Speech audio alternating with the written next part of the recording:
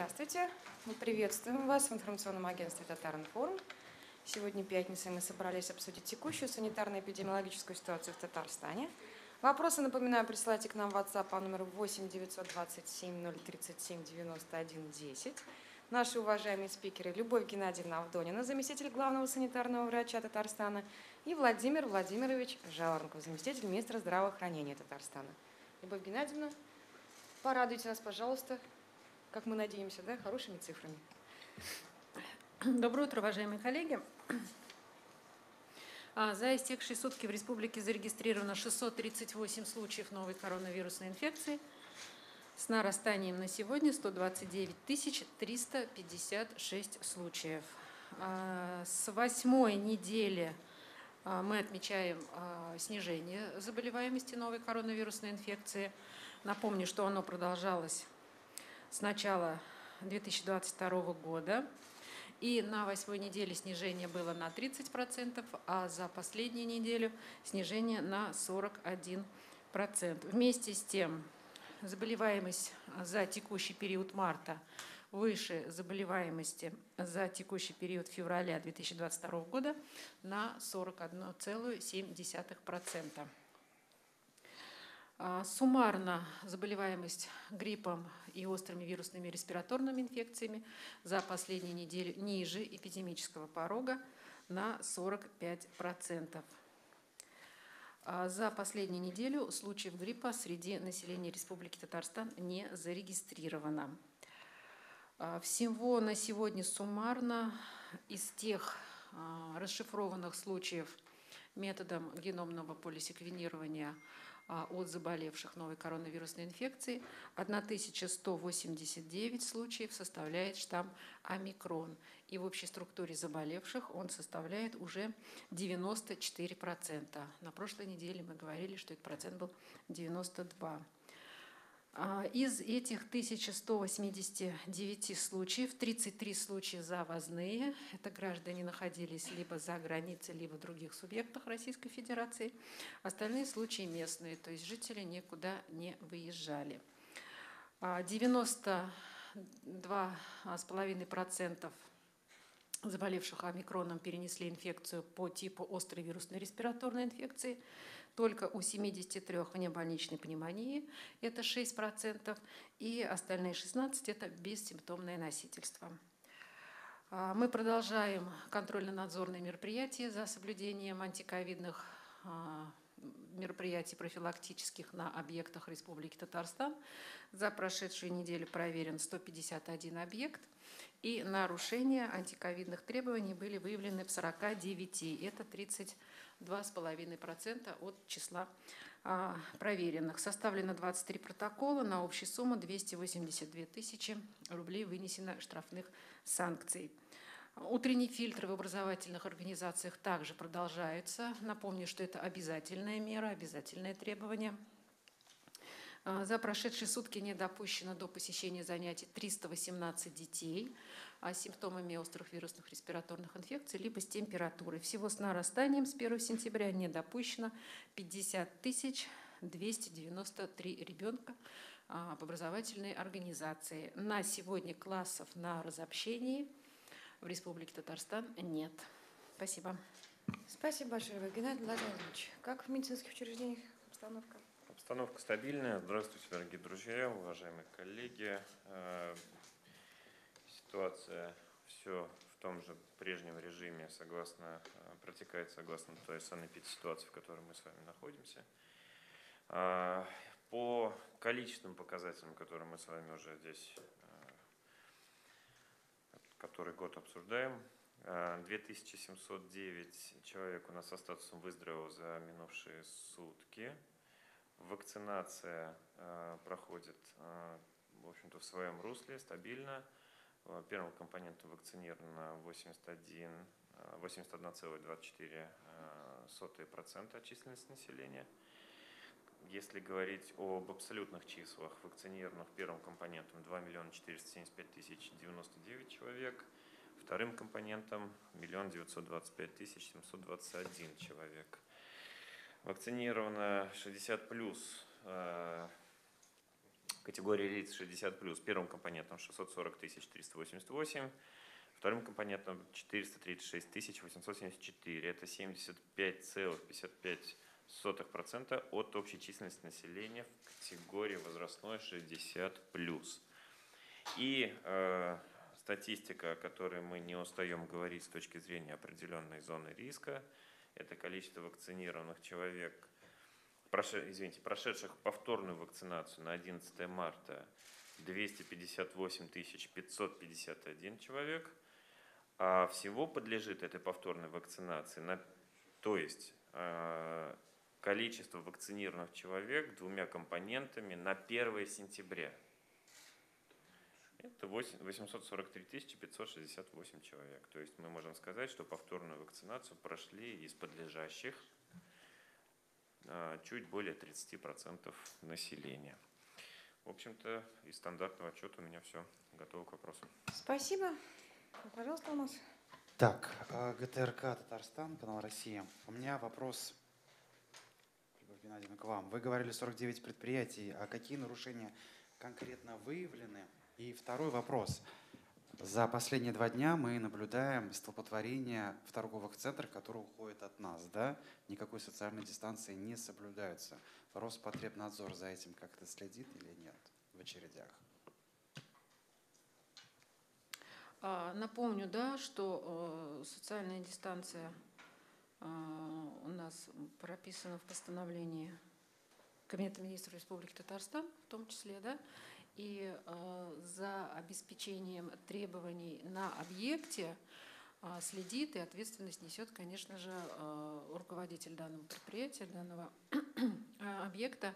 Нарушения, которые были выявлены в тех объектах, которые мы проверили, стандартный набор нарушений – это неправильное ношение масок, это недостаточный запас масок, средств индивидуальной защиты на данном предприятии, это неправильное соблюдение требований по текущим обработкам, наличие антисептиков в том числе, а, и, соответственно, несоблюдение кратности а, проветривания помещений либо правильного, правильного использования бактерицидных облучателей.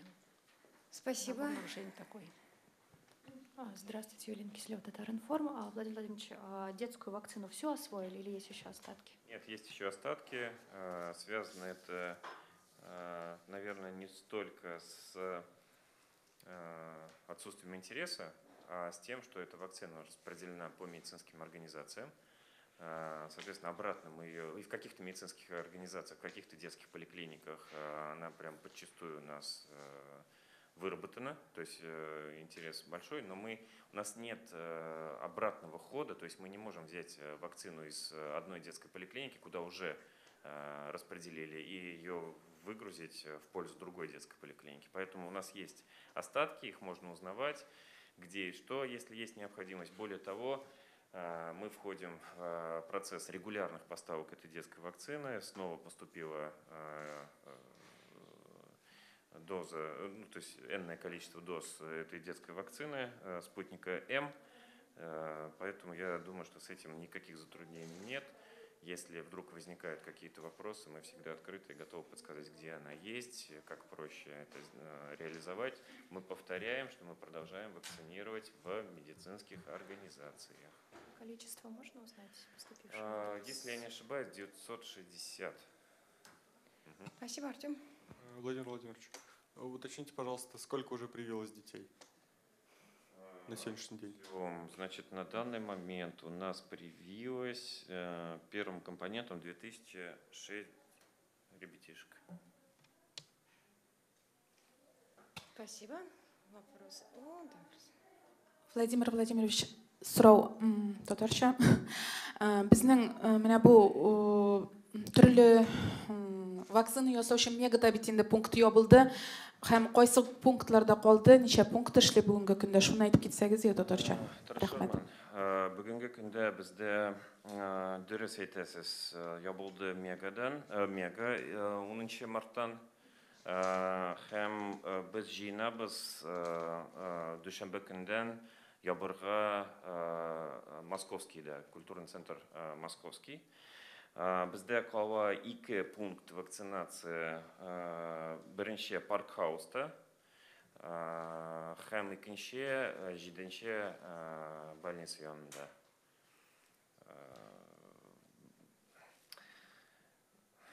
бик көп кеше көрмейбіз біз шоу пункт вакцинацияда қазіргі уақытта шуңа күрә һәр күн анда бір он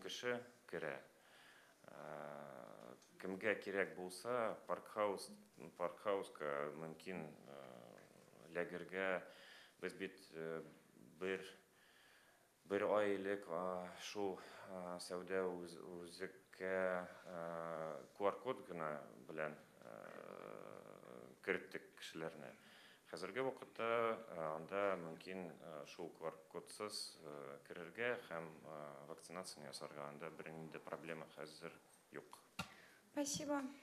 Артем. А, Любовь Геннадьевна. Любовь Геннадьевна, вопрос к вам. А, Сегодня Рамзан Кадыров в Чечне отменил все ковидные ограничения. Мы когда сможем об этом заговорить? И вот О том, главный... что Рамзан Кадыров отменил все ограничения? Нет, когда у нас в Татарстане их, э, у нас, слава богу, нет. Эм, Вопрос такой, еще, насколько я помню, до сих пор же все заведения в ночное время не работают. Там, вот э, кинотеатрам, значит, разрешили заполнять полные залы, а ночные заведения продолжают не работать. Причем э, представители бизнеса уже не раз, э, по моей информации, обращались с просьбой разрешить им все-таки работать ночью. В чем причина, почему до сих пор как бы, вот это ограничение действует? Я напомню, что ограничение по ночной работе – это федеральная норма. А, Она закреплена в постановлении главного государственного санитарного врача Российской Федерации.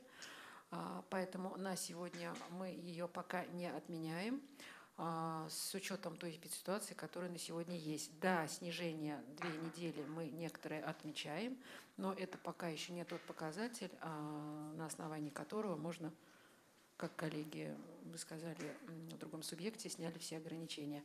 Поэтому на сегодня мы пока сохраняем те ограничения, которые есть, в том числе запрет на ночную работу объектов общественного питания и на зрелищно-развлекательные мероприятия. И в зависимости от того, как будет ситуация развиваться дальше, я напомню, что у нас традиционный пит-сезон продолжается до конца марта. Мы позже к этому а, вопросу вернемся. Да, у нас на рассмотрении есть а, обращения от рестораторов, но а, срок рассмотрения данных обращений месяц, поэтому вот как раз я думаю, что ближе к концу марта уже будет понятна ситуация и вполне возможно и федеральная норма будет несколько смягчена, и тогда мы также рассмотрим ее у себя в республике. Спасибо. Еще вопросы? Вопросов больше не осталось? Пожалуйста. Варвара Кудрявцева, от медиа.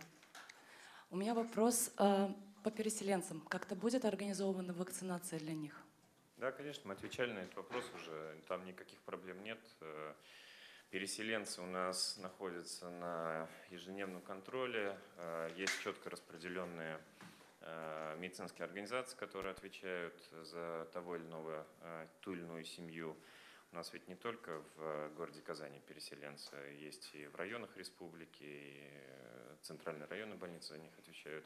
Все механизмы по оказанию медицинской помощи, и в том числе и по вакцинации проработаны, здесь мы никаких проблем не видим.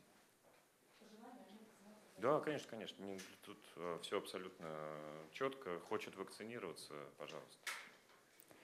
Спасибо. Эвелина. Владимир Владимирович, опять вам вопрос. В реанимациях пациенты есть в ковид-госпиталях, правильно понимаю? Да. Да, хорошо, прекрасный вопрос. Э, Значит, э, в реанимациях э, действительно есть. Мы говорили о том уже с вами, что нас действительно заботит тот факт, что, казалось бы, снижается заболеваемость, но тем не менее коллеги, которые работают в ковидных госпиталях, они говорят о том, что тяжесть заболевания довольно серьезная у пациентов. И э, это совершенно не говорит о том, что у нас, знаете, такие абсолютно пустующие мощности стоят, и, э, может быть, в районе приемного покоя э, наплыв уже не тот, но вот внутри ковидариев, внутри временных инфекционных госпиталей, там работа кипит очень э, серьезная. И никакого там никакой расслабленности от того, что пациентов э, в тех же самых отделениях реанимации стало меньше, такого мы не наблюдаем. Спасибо большое, уважаемые журналисты, уважаемые спикеры. Прощаемся с вами до следующей пятницы.